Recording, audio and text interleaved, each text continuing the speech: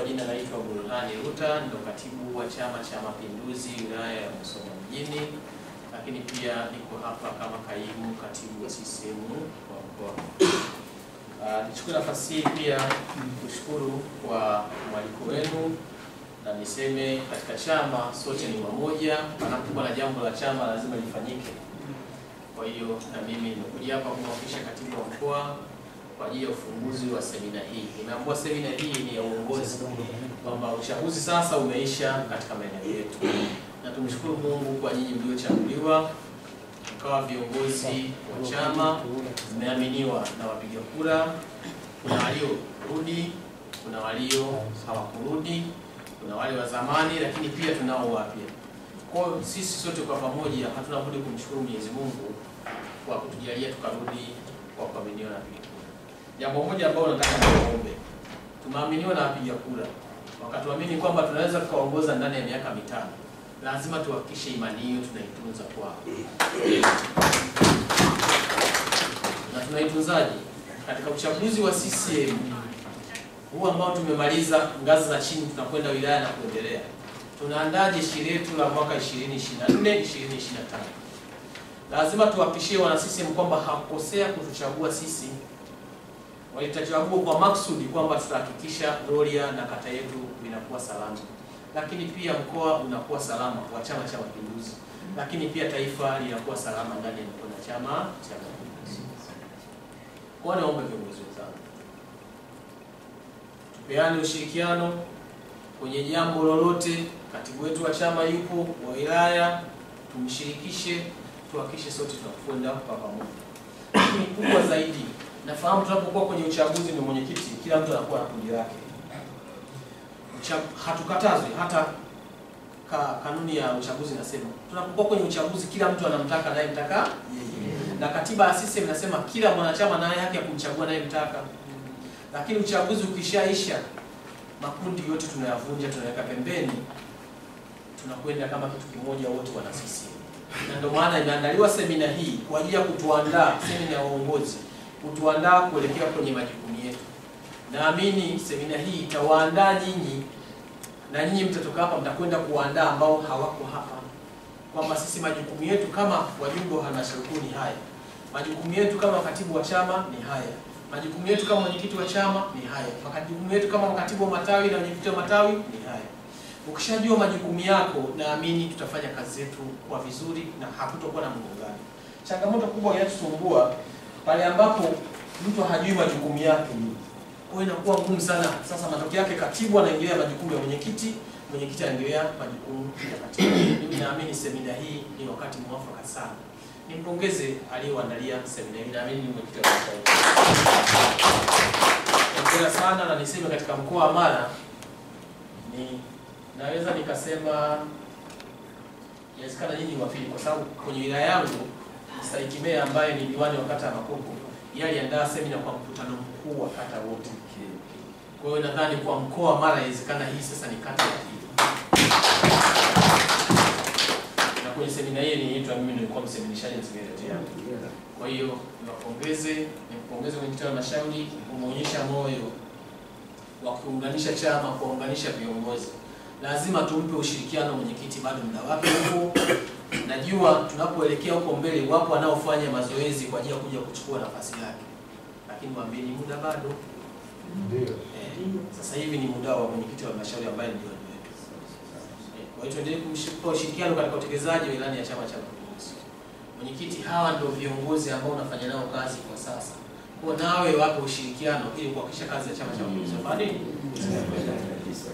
Nakumbuka siku ile ya uchaguzi, baada ya uchaguzi wa mwenyekiti na wale wajumbe ngazi ya kata, nilipopewa nafasi ya kuzungumza na kutoa neno, nilitoa ahadi kwamba ninatamani siku moja tufanye kikao cha halmashauri kuu ya kata, tuelekezane masuala muhimu kuhusu uongozi, wajibu na mambo ya msingi ambayo sisi kama viongozi wa chama tuliochaguliwa tunapaswa kufanya.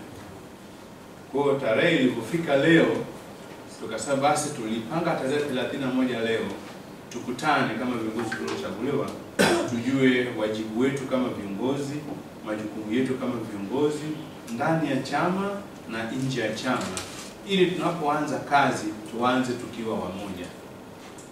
Lakini pili, tukasema basi tusiishie tu kufika hapa na kufundishana na kuelekezana, basi tufanye ziara ya safari ya uongozi. Kwenda kuzuru kaburi la baba wa taifa hili ambaye anatoka mkoa wa Mara, anatoka Butiama na ni mwasini kiongozi wetu wa rais wa kwanza wa Tanzania hii na ameongoza kwa miaka ishirini na basi, baada ya mafunzo haya twende sasa tukazuru pale, tujifunze historia ya kiongozi yule, yapo aliyoyafanya. ameenewa kwenye jumba la makumbusho, tuone nyumba yake, familia yake, alipokuwa anaishi na kama sehemu ya kujifunza na kujikumbusha mambo mazuri aliyofanya baba wa taifa. Na hiyo ndio hatua ya pili ambayo itakayokuwa mwisho wa ziara yetu. Kwa hiyo leo siku ya kwanza tarehe 31 tutakuwepo kwenye ukumbi huu kwa ajili ya kuelekezwa na katibu wetu wa wilaya ambao pia ndio mwezeshaji mkuu kuhusu taratibu za chama na masuala muhimu ya uongozi. Naamini tukitoka kila mmoja atakuwa amejikumbusha. Yule anayeelewa atakuwa ameongeza uelewa kuhusu mambo ya msingi, lakini yule ambaye haelewi atakuwa amepata uelewa fulani kwa kuanzia kwenda kutimiza majukumu yake. Lakini hilo pia halitoshi. Baada ya kuona zile taratibu za chama, basi na mwezeshaji wa pili atawezesha majukumu sasa ya viongozi waliochaguliwa na chama. Sasa wameenda kuunda serikali ambao atakuwepo mwenyekiti wa kitongoji ana majukumu gani mwenyekiti wa kijiji ana majukumu gani? Mwenyekiti wa mtaa ana majukumu gani? Diwani ana majukumu gani? E, meya au mwenyekiti wa halmashauri ana majukumu gani?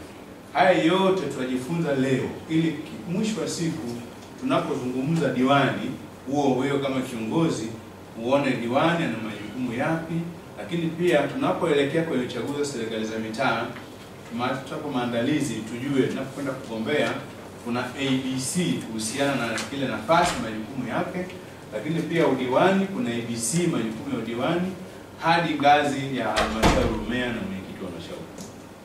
Haya ni mambo magumu na mambo mengi, lakini wataalamu wetu watayaleta kwa kifupi, kwa kulenga yale ya msingi sana, ili tukimaliza hapa tuweze kupata kwa kuanzia. Tukiondoka hapa tukipata chochote kuongezewa na mwisho siku safari yetu iende katika utaratibu mzuri, itatufaa zaidi sisi kuhakikisha kwamba tunaanza uongozi wetu katika maeneo yetu tukiwa wamoja, tunaanza viongozi wetu safari ya uongozi tukiwa tunaelewa ni wapi tunahitaji kuipeleka Chama cha Mapinduzi. Naitwa ndugu John Osoro Olala Olemba, jina maarufu. Kwanza mimi nashukuru sana Mwenyezi Mungu na vile vile pia nashukuru kwamba serikali yetu ya Mama Samia Suluhu serikali makini na kutupa viongozi ambao ni makini. Hii semina ambayo tunaipata kwa siku ya leo, sisi kama viongozi wa halmashauri ya kata ya ni semina ambayo itatuwezesha kujua majukumu yetu na tutafanya kazi kwa kushirikiana na kujenga umoja ndani ya chama na ndani ya kata kuhakikisha kwamba tunasukuma gurudumu la maendeleo kwenda mbele. Yaani yameonyesha njia, ni diwani anayependa maendeleo na ni diwani anayependa watu wake, na ndio maana ame, ameamua kututoa kule Buturi kutuleta hapa. Hizi zote ni gharama lizo anazotumia. Ni mtu ambaye ana upendo, anapenda watu na anapenda maendeleo ya wananchi wote, hana ubaguzi na mtu yeyote. Na sisi Wito wako kwa viongozi wengine sasa kuiga mfano huu? E, sasa na, mimi kama kiongozi wa chama, mwenyekiti wa chama, naomba viongozi wote waige mfano wa ndugu Gerard Ng'ong'a wa kuhakikisha kwamba wale wanao wale, wale wanaowaongoza wawe wanapewa semina, watoe wa, yani wawe na moyo wa kutoa, kwa sababu unapoleta watu kwenye semina kuna kutoa. Waige moyo wa ndugu Ng'ong'a kuhakikisha kwamba nao kwenye maeneo yao wanafanya jinsi Ng'ong'a anavyofanya. Kwanza nipende kumshukuru Mwenyezi Mungu ambaye ametuwezesha na kutufikisha hapa mjini Msoma. Buturi na Msoma kidogo ni umbali, lakini Mwenyezi Mungu ametuwezesha tumefika hapa. Na pia nipende kumshukuru sana Mheshimiwa mwenyekiti wa halmashauri na diwani wa kata ya Rabuor kwa jukumu hili alilochukua kwa ajili ya semina hii. Sisi kama viongozi, mimi ni mwenyekiti wa serikali ya kijiji. Kilichopo hapa ni kwamba mafunzo nitakayopata hapa ni vyema na mimi nitakapotoka hapa niweze kuwaelekeza wenye viti wangu wa vitongoji pamoja na halmashauri yangu kwa ujumla na hata pia kuwaelimisha wananchi wangu ambao pia yawezekana kuna machache ambao au mengi ambayo hawajui kulingana na taratibu za kiserikali pamoja na kichama pia. Hivyo basi ni moja kati ya vitu muhimu sana ambavyo vinatuwezesha hata sisi kuweza kupata mabadiliko ya kiuongozi ndani ya kijiji na ndani ya kata pia.